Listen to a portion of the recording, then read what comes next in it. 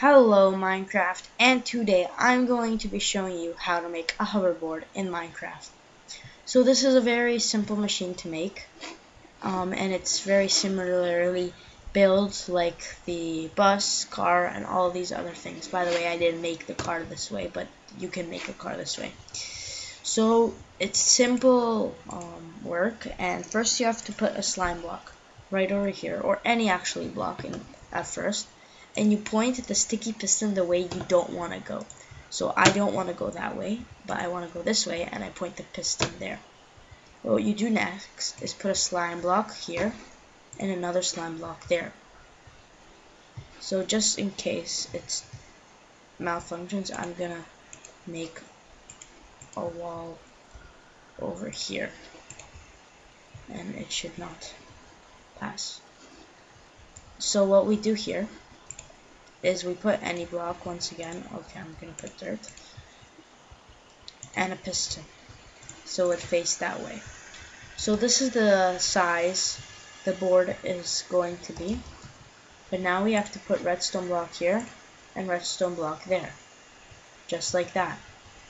Now it depends if you want a seat or a place where you stand. You could do something like this.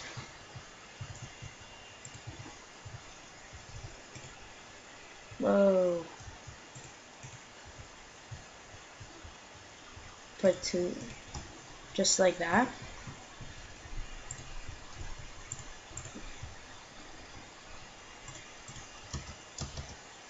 Actually kind of looks like a rhinoceros sometimes.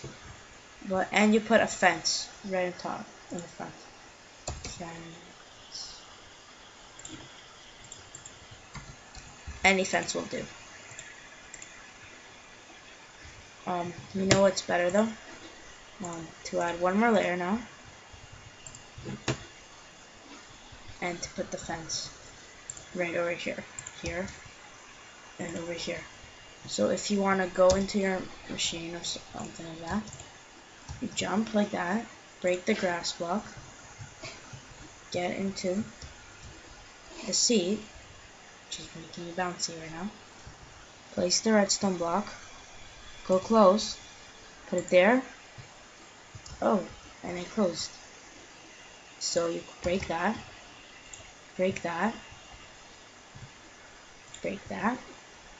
Break that. Put a redstone block there. Break it.